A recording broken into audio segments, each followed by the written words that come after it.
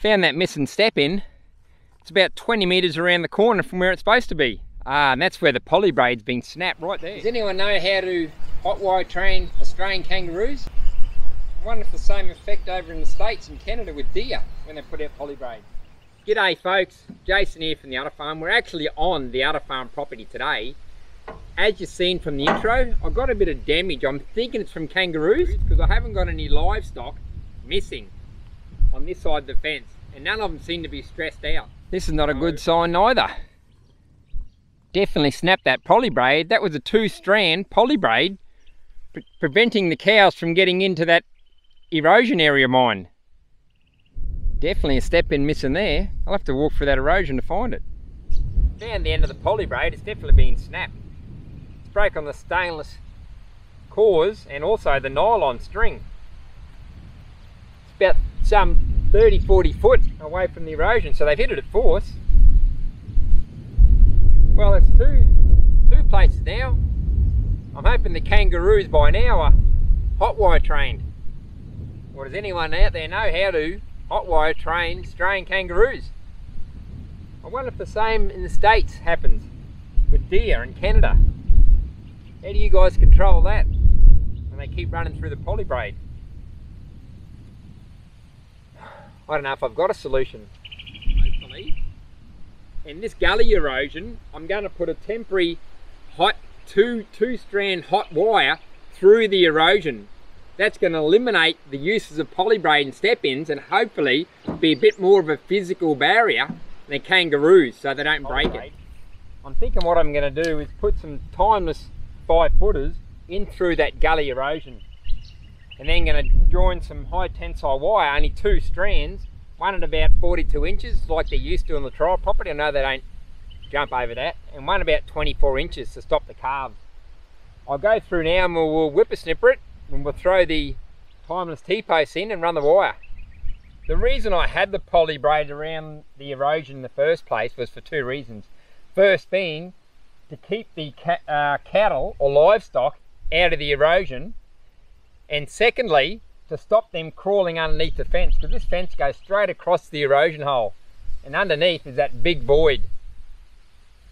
What I'm going to do now is, like I mentioned, put the fence through there.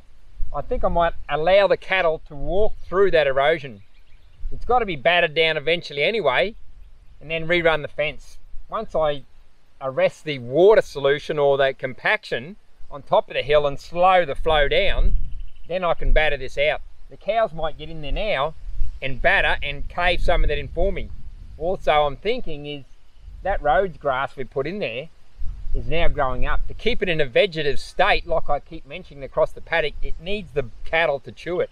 If they chew it and disturb the soil, it'll force that roots of that plant to go in the ground deeper. And also, it'd give me good soil to seed contact with the Rhodes grass that has dropped into that bank. And when it does rain, that should germinate and thicken up the pasture and hold the bank together. Well, in theory, I know that works in the paddock.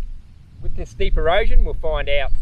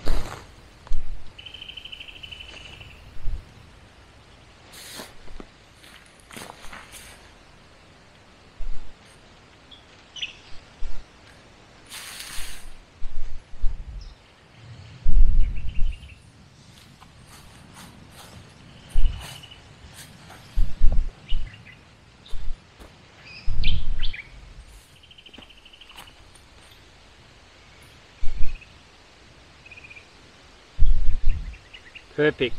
I'm just going to terminate this end off here with a split bolt. Get a bit of tension on the other end, do the same the other end. Then we'll run the second wire.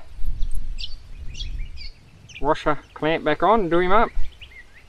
Just to be double safe, I'm just going to bend that high tensile wire back over top of that split bolt. I know it's not going to come off, but just a bit paranoid now after those kangaroos went through that spring gate and the poly braid here. I've got both wires run now. I'm going to put them through this bit of poly pipe. It'll make sense in a minute. Let me finish this first, one step at a time. So to stop this, if I can't tie it straight onto that, as I'm tensioning this wire, that'll sag that line down. There's a fair bit of play over the gully here. I reckon that'd have to be at least, well, it looks like about 20, 30 foot. So that'll just keep sagging down. To eliminate that, I've used this timeless T-post. Because this is this PVC, it's the insulator. The wires can go straight through the hole and it won't short out. So that's where my second wire is. So I'll go through that hole there. Use my split bolt. Straight through there. Two wires. Pull it through, get my desired tension I'm after.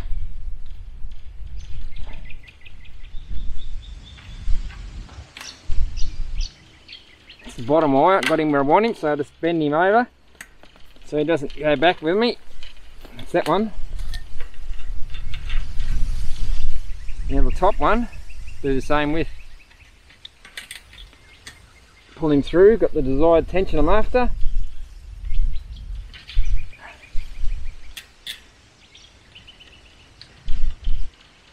That's it. Like I said, these aren't meant to be a physical barrier, it's a mental barrier. Once they touch them, they're going to get shocked and they won't go near it. So bend it down so it doesn't... Rightio, now got that point. I can just tighten up this split bolt.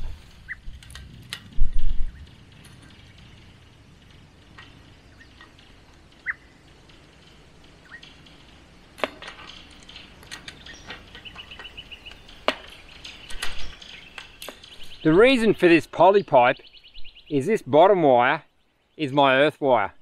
And I don't want these hot wires coming up from the gully touching and earthing out on that earth wire. So this poly pipe is going to act as an insulator. I'm just going to drill a hole through there and wire it to this hot wire. That way, if it was to get bumped by an animal, it's not going to earth out.